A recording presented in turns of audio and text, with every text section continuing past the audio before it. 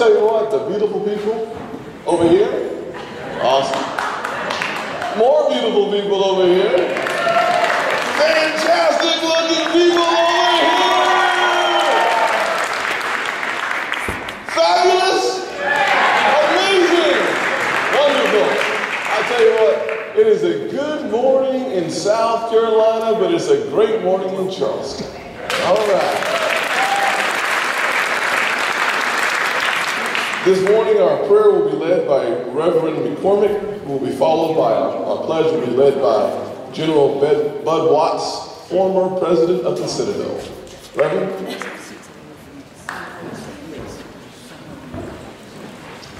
Let us pray.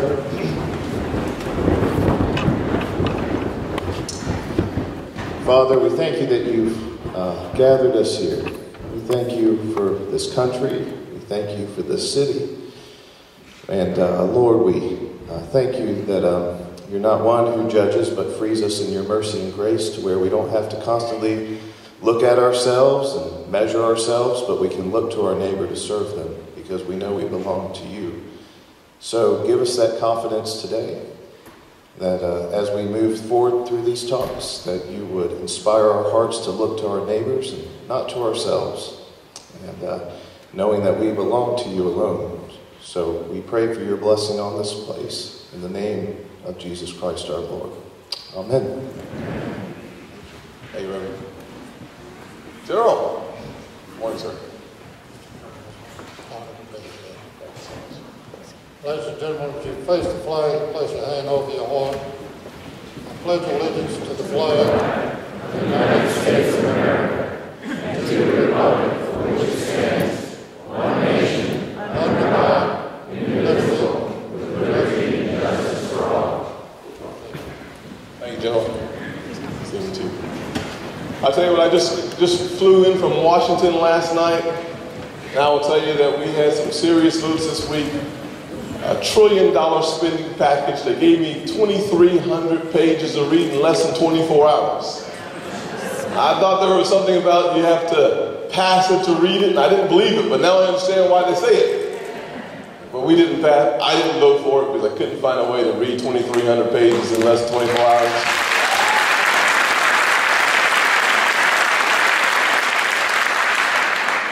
That is what they call regular order in Washington, D.C. Because with our current president, what we have is a real mess on our hands. You know, there, it's nice to see it in the classroom. You know, a good professor in the classroom is a wonderful thing. But when the professor becomes the president of the United States, regular order vanishes. But what we really need is a person who understands how to run a business. What do you think?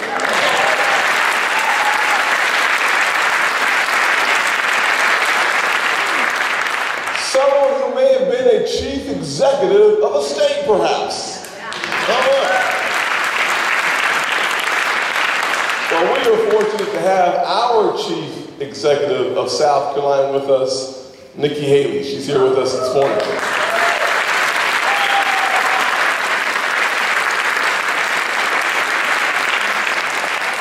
And I know we are looking forward to hearing from Mitt Romney.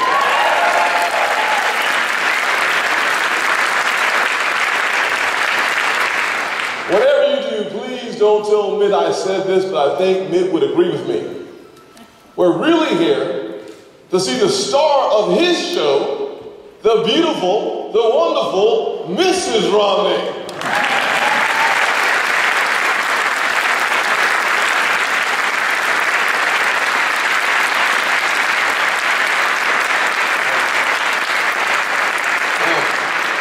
Now you understand why Mitt actually has more than a chance because he's got good taste.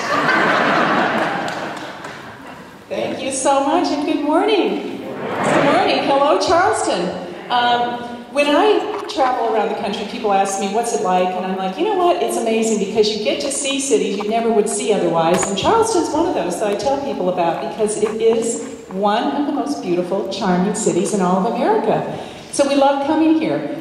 Um, we're here for another reason today, though. Congressman, thank you. Um, we're here, uh, and I think you're all here, because we love America. and because we are worried about the future of America. Um, there are some wonderful people running for president, and I happen to think that there's only one that can actually turn around America. And that's why I am so delighted to introduce the next two governors, Governors Haley and Romney.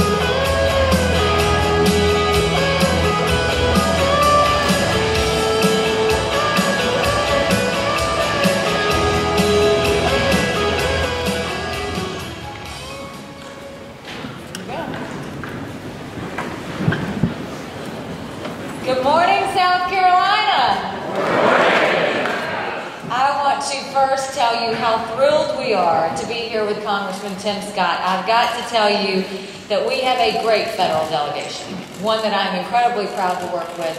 But there is never a time where we are dealing with anything where I can't pick up the phone and call this congressman and know that he's going to be here. So give it up for Congressman Tim Scott.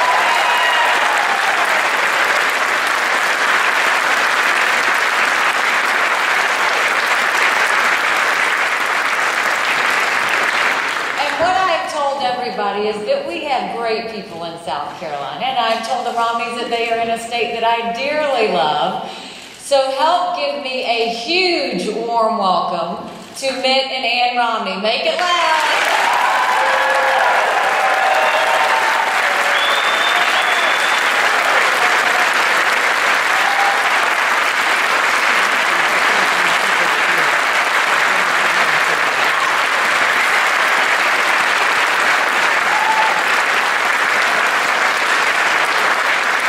That's the South Carolina I know and love, and I want to tell you that I am happy and proud to tell you that I have an amazing husband that puts on a military uniform every day and makes us proud like all our military men and women. The coolest first fella, Michael Haley, is here. Stand.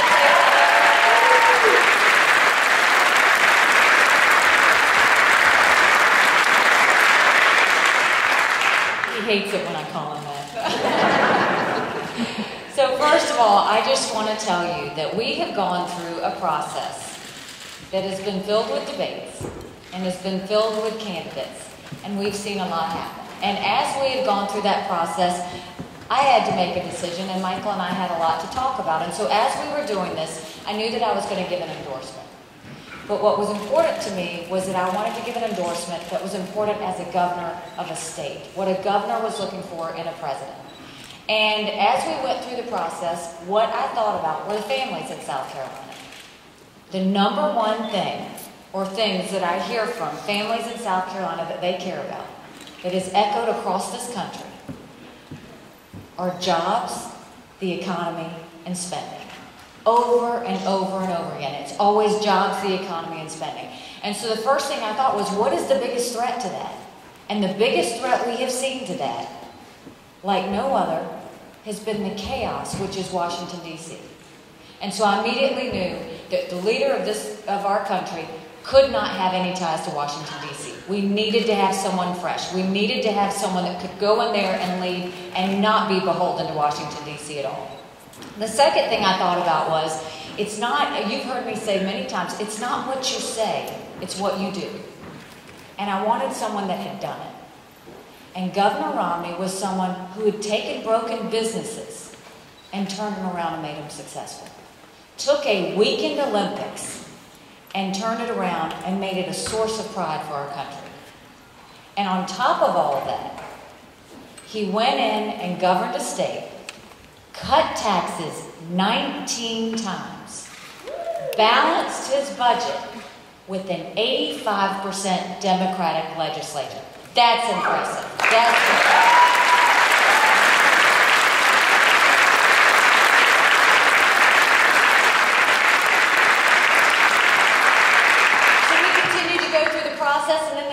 I thought about was that as governor, the hardest part about my job over and over again has been the federal government. Whether they've dealt with Medicaid, whether they fought us on illegal immigration, whether they fought us on voter ID, over and over again, I deal as much with the federal government on a day to day basis as I do the legislature. And actually, the federal government has given me a harder time. And so, as I talked to Governor Romney, I asked him the hard questions. I said, Tell me because South Carolina cannot and will not have health care mandates in this state.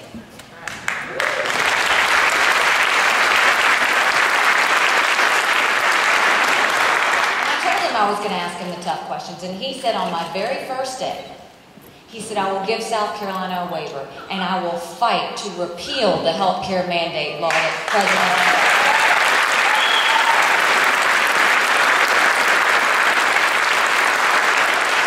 I told him that in South Carolina, every day I fight for jobs. I fight to bring jobs into our state, and I've got a president that's been fighting to get them out. What are you going to do about the National Labor Relations Board? What are you going to do about the unions and what they've done to Boeing? And he said, I will work with the private sector every day. The unions are not going to have be beholden to me, and I'm not going to let them have any more power than they already have. So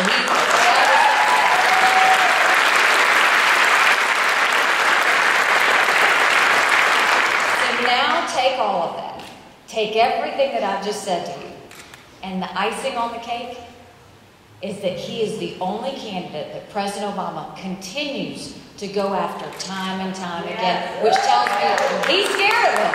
And I like the fact that President Obama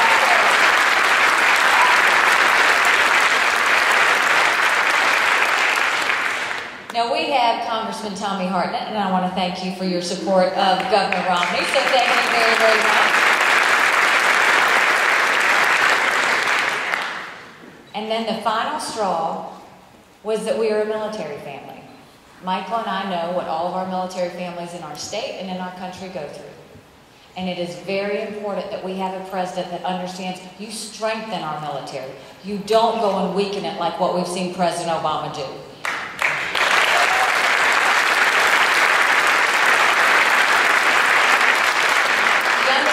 got to take care of our men and women in uniform and give them all the backing and the strengthening they need. So it is with that that I humbly, respectfully, and am excited to say that Michael and I absolutely, in every way, support Governor Mitt Romney for President of the United States.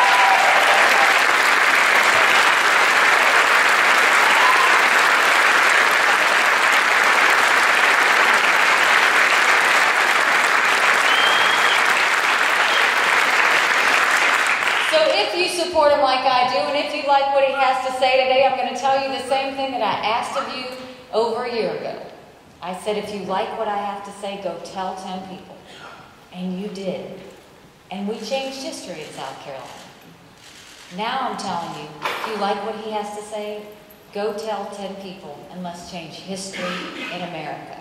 Because what I saw, and I endorsed him in 2008, what I saw was a candidate that knew his issues and wanted to win. What I see in 2011 is so much more than a candidate. This is a leader that knows his issues and already knows what he wants to do the first 30 days in office. Give it up for the next President of the United States.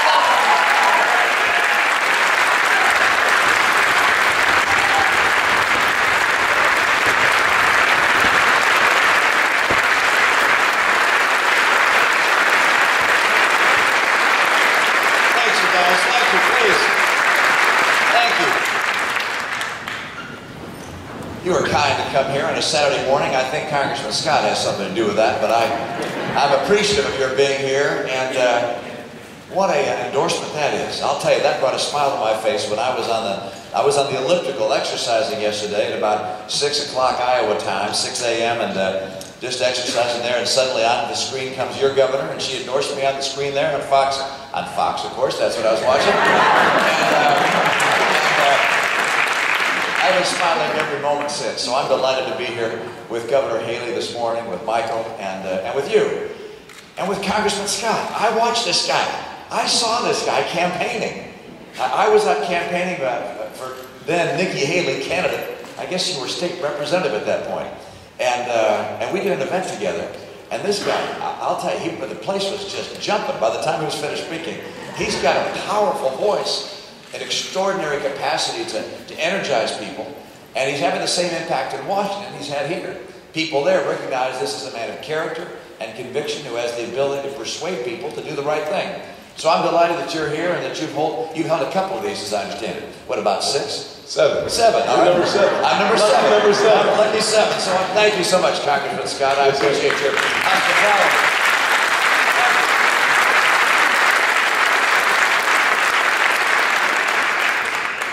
Now, I, I'd love to tell you all the reasons why I love this country. And it's a, it's a long list. Um, my mom and dad taught me to love America. They took me around to the national parks, and I, I got to see the beauty of the country. Over the years, I've met Americans all over the, the land, and uh, we're an extraordinary people. We have great passion for our country and for the values upon which our country was founded. But there's something uh, unique in this country that, uh, that has led us to become not just a, a land that I love and a people that I admire and respect, but we've also been extraordinarily generous to the world, prosperous ourselves, and, uh, and a people that are, that are kind and, and good. And, and I wonder, why is it that, for instance, the income per person in America, for the average American, is about a third higher than for people in, in Europe, let's say? What, what drove that to happen? And it's not our DNA is different, because our, you know, we're a mixture of people from all over the world, so our, our DNA is about the same. There's something else that accounts for that difference. I happen to believe it's the principles and values upon which this country has been based. And th- those values and principles drove us to outcompete the Europeans, from which many of us sprung, and, and continue to outcompete the more populous nations of Asia. What were those, those principles? What were they? One, when the founders came together and, and drafted those first documents, they recognized that our rights were not given to us by government, but by God. We were endowed by our Creator with certain unalienable rights, among them life, liberty, and the pursuit of happiness. That last phrase, sometimes we sort of brush over. We shouldn't. It was a recognition on the part of the founders that in America, people would be able to pursue their, their course in life as they chose. Government wouldn't tell us what to do. The circumstance of birth would not prevent us from achieving our dreams. Instead, we can pursue happiness as we chose. And, and that freedom, the freedom of opportunity, political freedom, economic freedom, personal freedom, those freedoms combined drew people here from all over the world. Those seeking opportunity, those with big dreams, came here. We're their descendants. Many of us are. Some came here involuntarily and had to become champions to overcome the challenges they faced in coming here. It's an extraordinary people we have here because of the freedoms and the champions of the American people. Now, today I recognize the power of a society based on opportunity or merit. In this country, a merit based society, people who do their best to get as much education as they can, as they can afford, and, and, and willing to, to sacrifice for. Those who are also willing to work hard, and those who are willing to take risks of various kinds and, and then put themselves on the line. Those individuals have the potential to earn great rewards, and in doing so, they don't impoverish anybody else. They, in fact, help lift the entire society. It's an amazing thing. This nation has become so economically successful in part because we're a merit society, an opportunity based nation. I'm concerned that President Obama and people around him don't understand America, don't understand an opportunity America, don't understand the power of merit.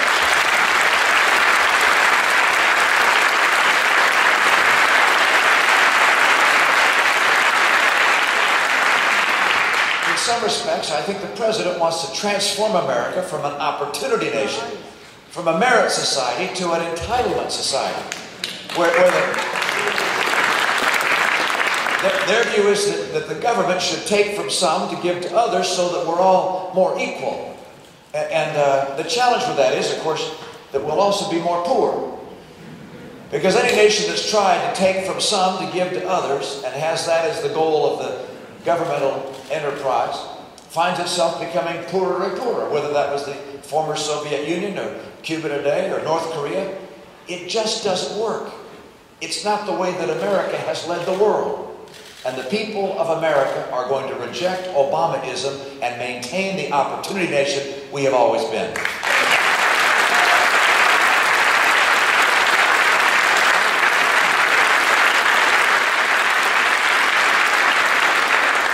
Now, there's some other battles going on right now, and, and I won't go into in much depth right now, but let me just mention them and then turn to your questions. One is that I think, for some reason, I find hard to understand this president is intent on spending massively more than we take in. I think it is immoral for us to continue to spend our kids' future. To keep spending more than we take in is simply wrong, and we can't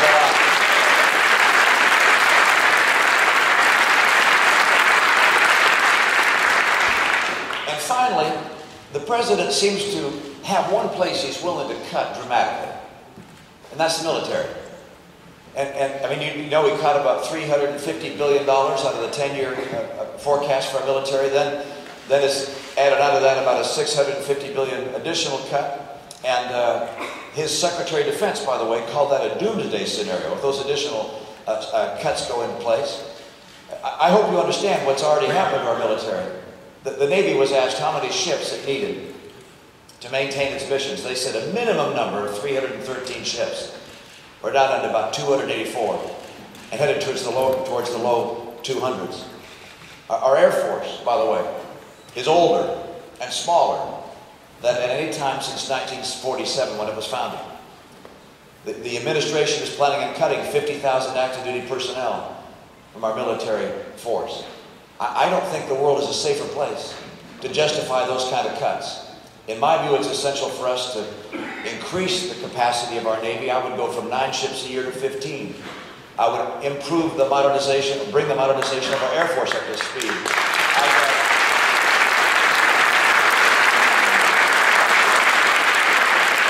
Instead of subtracting 50,000 active duty personnel, I'd like to add 100,000 active duty personnel and, uh, and you might say, well, how are you going to pay for all that? What's going to make There's an active duty personnel mom right there. Maybe. no. And, uh, uh, and, and, and, people say, but how do you pay for all that? And, and the answer is there's a lot of waste in the Department of Defense. And, and I'm going to go after that waste. But instead of using it to pay for social programs, I'm going to make sure we use that to rebuild our Navy, to rebuild our Air Force, to keep our.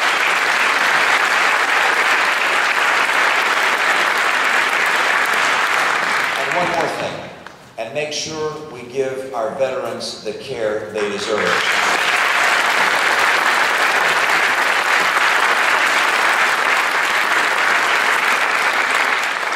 So I intend to bring America back to the principles that made us great in the beginning. We'll keep America strong, we'll keep it safe, we'll keep America prosperous.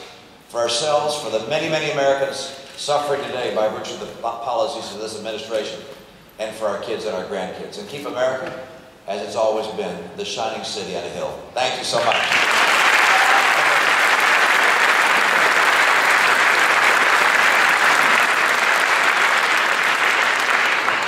The way, the way we do Tim's Town Hall is very simple. You ask the questions, I deliver it to our next, possibly next President of the United States. You had it right there. I like the way you think. That's it and then he'll answer it. So we'll get right to it. And sometimes the questions come from Facebook. Our first question is from Facebook. They may be in the audience as well. Ray Honeycutt. There he is right here. Annabelle here. Yeah. Mr. Honeycutt is a very intelligent young man because he has, he has a great question for you, man. How are you going to prevent his generation from having to pay for the government's outrageous debt? What a call. That's that's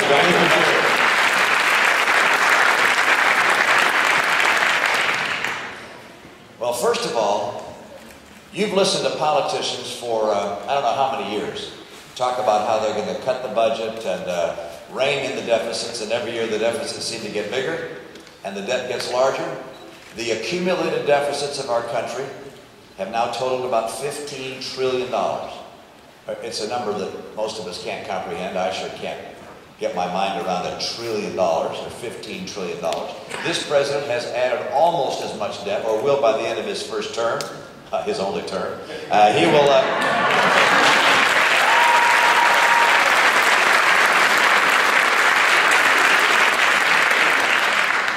he will have added about uh, as much debt as all the prior presidents combined. So if we have another four years after that, you can expect another, well, it won't be a doubling, but you can see another 100% added to the debt. And uh, that's just unacceptable. And so here's what I do, Mr. Honeycutt. I missed your first name. What was it? Raymond? Ray? Raymond. All right, Raymond. Here's, uh, here's what I do. I would come into office and I would take federal spending from one quarter of our economy today, 25% of the GDP. I take it from 25% down to 20%. All right, I'm going to bring it down. I have to cut $500 billion out of the budget. And how do I do that? One, I get rid of some programs we don't need. Now, there's some programs I like, but we just can't afford. And for me, the test is this Is this program so critical, so essential, that we should uh, borrow money from China to pay for it. That's a pretty high test. And so things I, I, like, like the National Endowment for the Arts and the National Endowment for the Humanities and, uh, uh, and PBS not having to have advertising, I'm going to change that and say, look, we're not going to keep spending that money. And, and then there's some things I don't like I can get rid of. Number one is Obamacare. That's... Uh,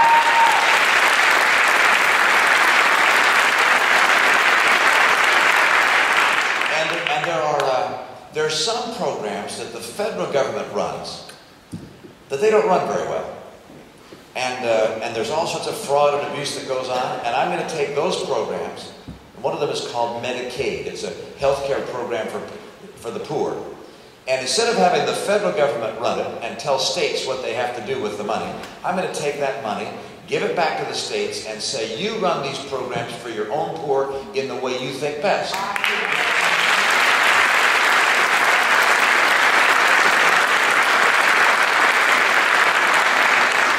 Got a long list like that, Governor. You're going to be happy. Do, do you, I, I, was. Uh, I understand, by the way. This is interesting. You see, when you get elected to office, some politicians think that they can only be popular if they uh, if they come up with new programs, and they want to tell their constituents, "I I passed this bill. I started this new program." Then there are all these people in Washington who have to run the program. They hire people to oversee it and run it and tell the states what to do and you end up with all this bureaucracy, and the money that gets to the people ends up being the, the drop at the end of the, of the pipe. You know how many workforce training programs we have in America? These are programs to help people get new work skills if they lose jobs. You know how many different programs? 47 different programs. All sorts of money and overhead. They report to eight different government agencies, these different programs. I want to take all that money and take that and give it back to the states and say, you guys run your own program in the way you think best for your people. Doing that, doing that,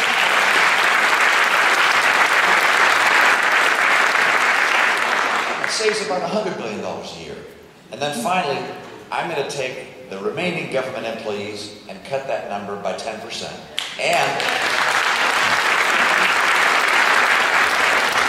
and I'm going to link the pay of people who work in government with that for people who work in the private sector. I don't think.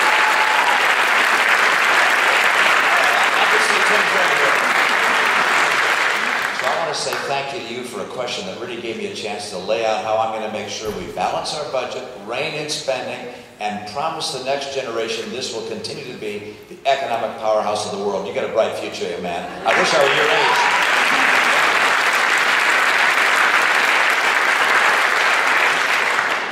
I must say that was not a soundbite, and that's a good thing. You know what we're talking about. And we need someone in Washington who really understands the issues and not just the talking points on the issues. But you did mention pipelines. Question comes from working on my sound bites. Tom O'Neill. Is Tom O'Neill here? Tom, thank you, sir. Tom's question has to do with telling the president that by not supporting the Keystone Pipeline, he's actually costing 20,000 union jobs, and it creates a great divide between public unions and private unions. He'd like to hear your response. Yeah, thank you. Good question. Um, you know, uh, the unions in the private sector were created to, in many cases, improve people's job skills and to, and to balance employers that uh, have become abusive. And, and, unions can play an important role in our society. Um, our president seems to be drawn towards the, the unions that make big contributions to his campaigns. I don't think that it's fair for people to have dues taken out of their salary, out of their wages, to go to a union boss who then gets to decide which candidate he's going to support. I don't think that's fair.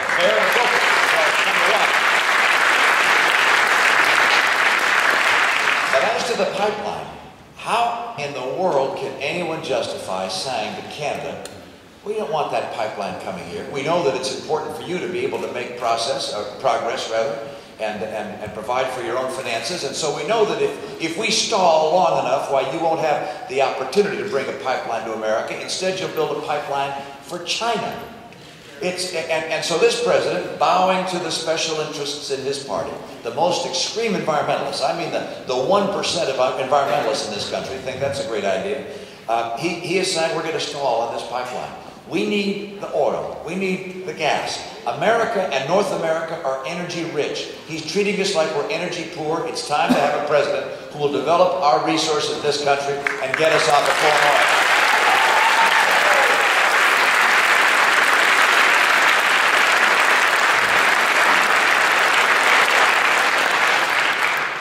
We've just received something of a news flash that the Senate has just voted 89 to 10 to extend the payroll tax for two months. Two months. Now, I'm not sure what short term economics means in Washington, but can you talk to us for a few minutes about the payroll tax and unemployment insurance and the Senate's inability to work in this universe, not the alternate universe? Well, you know, it, it's hard to expect a bunch of uh, kitty cats to all come together and march in lockstep. All right, that's just not going to happen. And so the only way you can herd cats, difficult as it is, is to have a leader, is to have somebody who knows how to bring people together and find some common ground, maybe some catnip. I'm not sure what you have to do. And uh, I, I, had the occasion. I, I considered it the misfortune when, when I was running for office and then got elected as the governor of Massachusetts to be elected in a state where my legislature was 85% Democrat. But you know what? It turned out to be good fortune in some respects.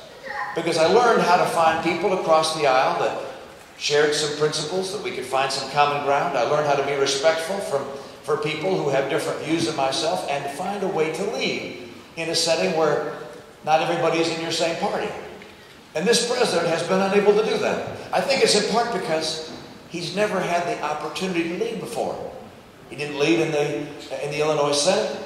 He didn't lead in the U.S. Senate, so he's taking his first run at leadership in the White House. It's not a place for on-the-job training. And, um, and so I look at what's happening with these, these, uh, these stopgap measures, two-month extension. Look, I don't want to raise taxes on people in America. I didn't want to see our taxes go up. I also don't want to see that pipeline from China closed off. I want that to be opened up. I think the Republicans came up with a pretty good idea of combining those two and saying, okay, let's, let's do both of these good things. Let's do them together and get it done. And, and why in the world this president's having such a difficult time actually leading may be the result of the fact that he's constantly demonizing and attacking. He, he ran as a president who was going to bring us all together. Remember that? And over the last three years, all he's done is attack one group after the other inside this country. It seems to be his his normal pattern. Attack Americans, attack Americans, divide Americans. That is not the American way to success and greatness. And I hope that we finally have a president who's able to sit down with good Democrats who love America and great Republicans who love America, find common ground and get America strong again. I intend to be that kind of leader. Thank you.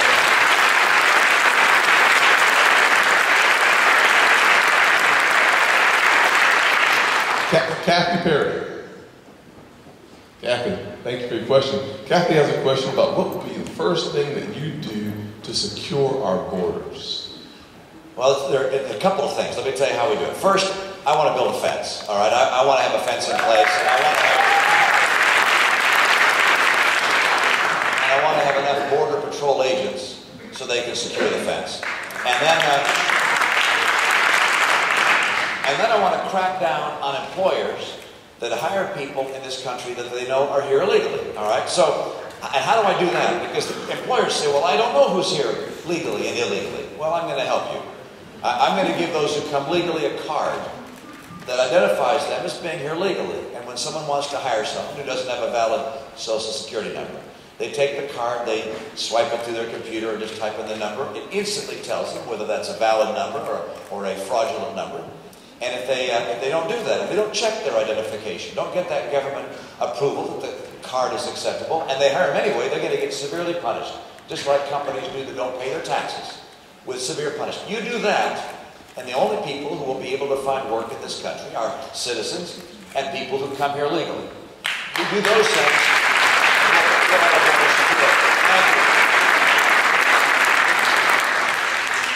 Denver Merrill. Oh, there you go. Wait. Is that you, Denver? I want, I want to see your ID. Never mind. Denver understands. I can't, I can't see him, but I can hear him back there. Yeah. I assume he's there, but we're not. There he is. Okay. Denver has a very important question. You know, Charleston's a port town. And Denver's question is, what is your vision for improving our infrastructure system? Uh, we, we, got, we got infrastructure issues in our ports, on our rail yards, on our aircraft systems, in our highways in particular. I came in as the, the governor of my state. I, I, I won't speak for Governor Haley here, but I came in and my transportation people said that we had 550 structurally deficient bridges in my state. 550. And we were spending $100 million a year on bridge repairs. I doubled that to 200 million a year. Now that means I had to cut some other things to make sure that we were able to put priority behind getting our bridges up to, up to speed. We're going to have to make an investment in our infrastructure. And, uh, and that's a place where if we make that investment, it will pay a return. I, I, uh, I don't mind borrowing if something has a revenue stream that will pay back the borrowing. What I don't like is what we see in Washington, where we borrow for just everyday expenses with no new revenue stream to pay it back.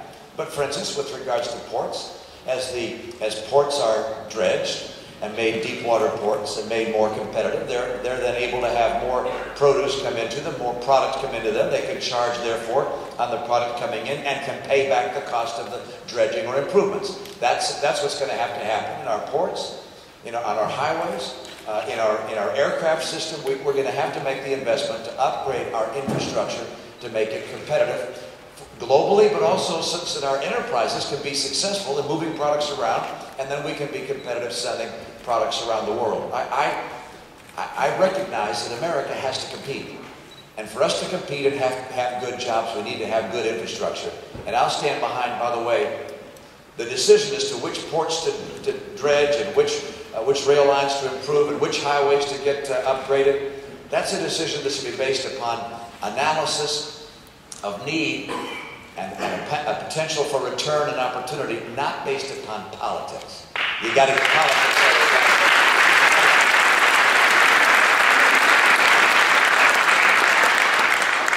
Yates Wilburn. Yates, thank you for your question. What is your opinion on a federal right to work law? Well, if one came to my desk, I'd be happy to sign it. Um, I think the, uh, the uh, right now, of course, the states, the 22 states that have right to work legislation have a big advantage, right? It's working very well uh, for South Carolina and some other states who brought in some, uh, some great enterprises. Uh, what is it, Michelin Tire you have, and, and uh, BMW, and who else you got? Boeing. Well, I know Boeing, of course.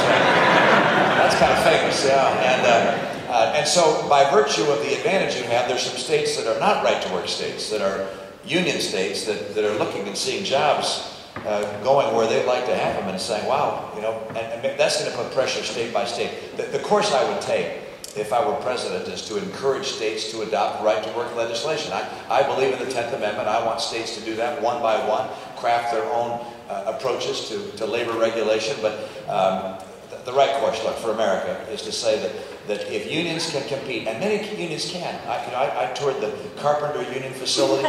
They do some great, great work training their people. They can be highly competitive. Unions work fine if they're in competition. And, uh, but, but where the law says that only unions can compete, that, that in my view is a mistake. So I'm, I'm very much in favor of right to work legislation. Thank you.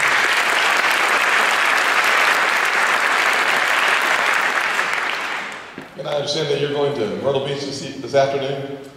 Fun in the sun. You got, an interview in a few minutes as well after this is over as well. So you're, you've got a very tight schedule.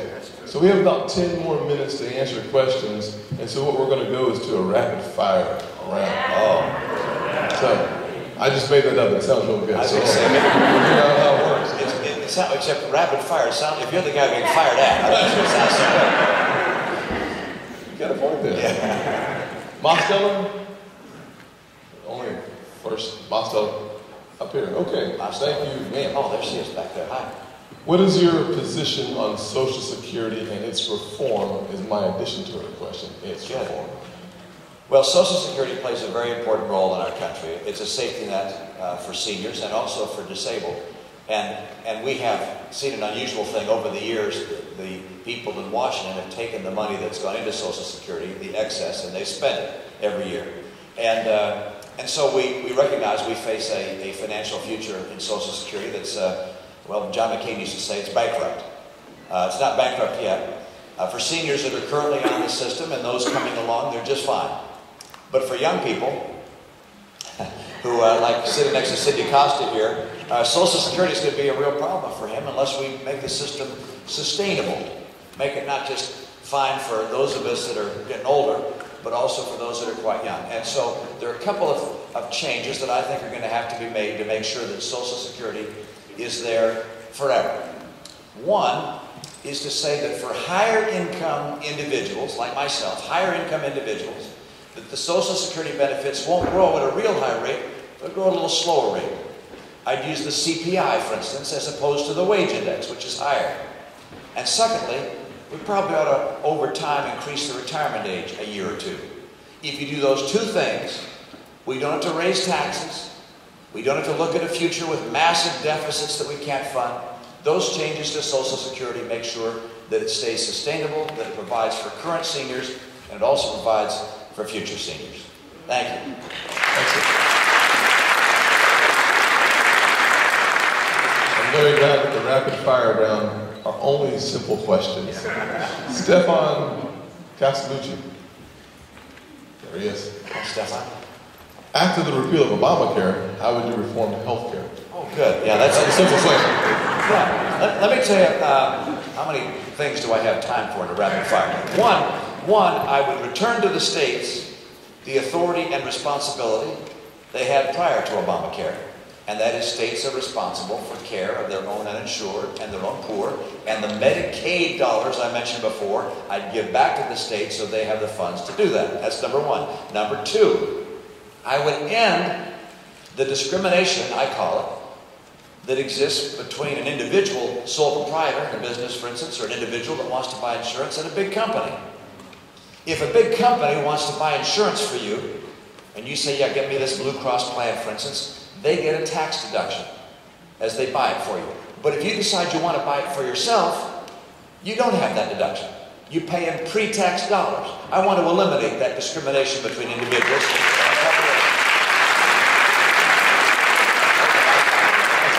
I got a longer list, but I'll stop with it. As George Costanza said when they applaud, just stop at that point. Bill Stevens. There he is. Bill. Bill. Bill, his question is, long story short, President Obama keeps talking, saying nothing, and he wants to know about the fact that 47% of Americans pay no taxes. Yeah, yeah. How is that fair? Yeah, 47% of Americans pay no income tax. And um, I, I, I got to tell you, I,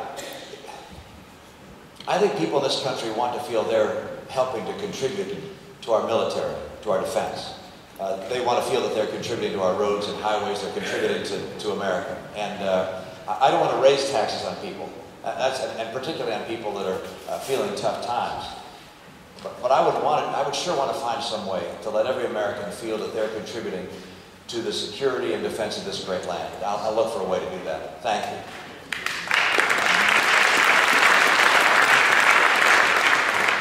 Elaine? There you go. Yeah. These are excellent people. Quick question. I like that Christmas outfit here. That's uh, very nicely done. That's a big, extraordinarily strong husband. All muscle, right? All muscle. Leave them alone. So, prior to Jimmy Carter, the Department of Education, what would you do about transforming education? I think every Republican you see is going to say we we got to got to get schools so that they're run at the local and, and state level. The federal government shouldn't be running schools and, and dictating policies to, to states and localities, and we all agree on that.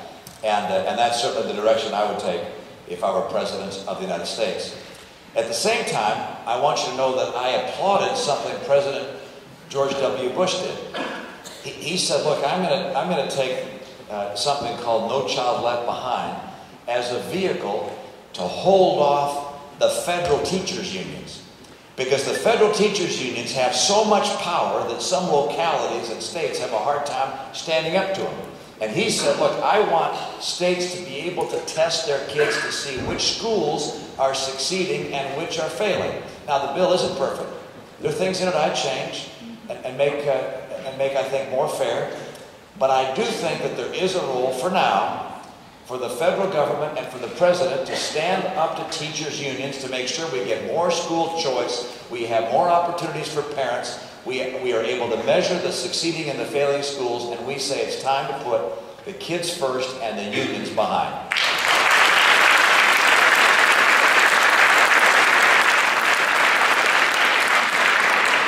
Kyle Bergman.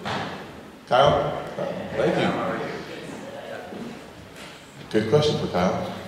What is your stance on waterboarding? Uh, what is my stance on waterboarding? Um, I, I am not, if I'm president of the United States, not going to define uh, for our enemies around the world exactly what in, enhanced interrogation techniques we're going to use. I'm not going to give them a list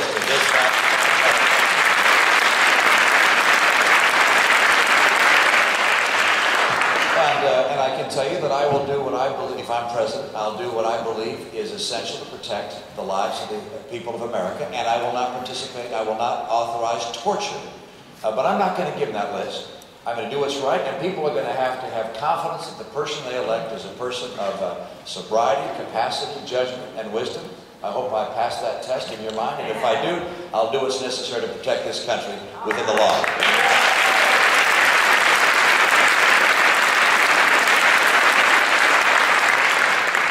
Robert Elbert. Right there. Hi, Robert. What's your last name? Egbert. Not Elbert. Egbert. Robert. He sounds so concerned about your foreign policy. He wants to know about how you're going to scale down the military uh, or build it up. And he references Ron Paul's stance. Yeah, um, Ron Paul and I agree on some things and disagree on others. Foreign policy is a place we disagree. I, I happen to believe that, uh, that the reason we were attacked on 9 11 uh, had to do with the, the view of some, Al, uh, Al Qaeda and other jihadists, uh, that somehow there's a desire on their part to, to bring down the rest of the world, to cause the collapse of America and our friends around the world, and they attacked us in an unprovoked way. They declared war on us, and, and they will continue to fight us, and therefore that we must remain strong militarily. I believe that there are also other nations that intend to get stronger, and that at some point would consider testing us, either here or somewhere abroad. I think the best, the best ally peace has is a strong America. I want to. Uh,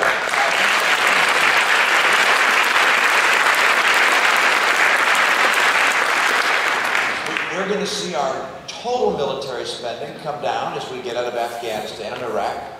But there are some that would take our base Department of Defense budget and keep on cutting it, bring it down, down, down. We spend, it's about 3.8% of our economy we spend on, on the Department of Defense. 3.8%. I told you that the total federal spending is 25%. This is 3.8 we spend in defending ourselves on our, on our base uh, Department of Defense budget. And, uh, and there's some who want to keep bringing that down, down, down, down. I'm not one of those. I, I believe that as we find efficiencies and cut out waste, we should again rebuild our Navy, rebuild our Air Force, uh, make sure that we have additional uh, uh, active duty personnel, that we have the funds to care for our veterans properly. And, and my view, I, I had a, a, a, meeting, I guess it's now a few months ago. I was in Great Britain and met with uh, former Prime Minister Tony Blair and the current Prime Minister David Cameron and other governmental leaders there. And one of them said this, it's, um, it's something with which I agree. He said, Mitt, if you're lucky enough to become president, you will undoubtedly travel around to different capitals in the world, and they will rehearse for you some of America's mistakes and failings. And he said, but don't ever forget this. What we all fear the most is a weak America. American strength is essential for us and for the world. I want to have a military that's so strong, no one would ever think of testing it. The best way to keep the war is to be strong.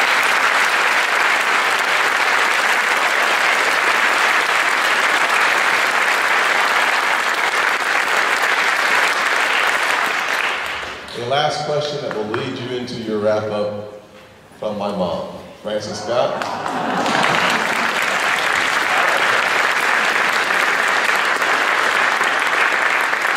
My mother wants to know, why should we vote for you to be the next president of the United States? Thanks, Mom.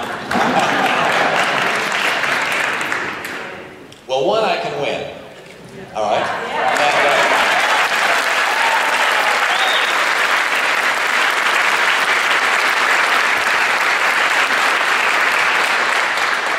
And, uh, and there are a lot of reasons I can win. Number one is because I have the best uh, wife in the world, but that's another matter. But also, I have spent my life, 25 years of it, in the private sector, and then in the voluntary sector at the Olympics, and then as the governor of a state. Those years in the private sector helped me understand how the economy works.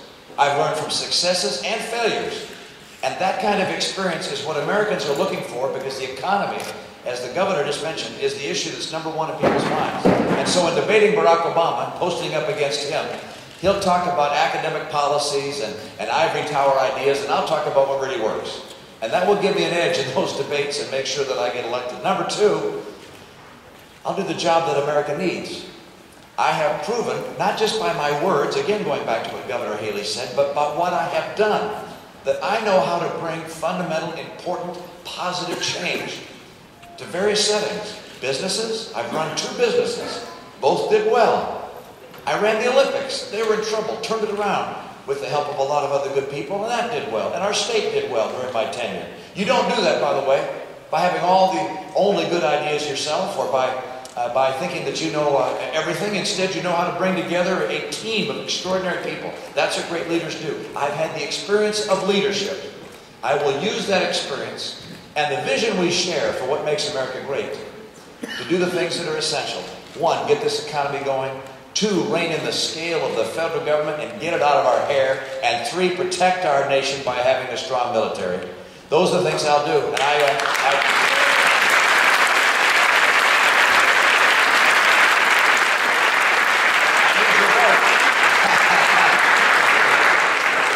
You may want to repeat that last thing you just said. I'm just going to say, I need your vote. I, uh, I, uh, I, I want you guys to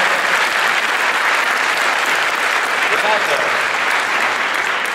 Let's hear it, for as he says, and perhaps I may agree, the next president of the United States.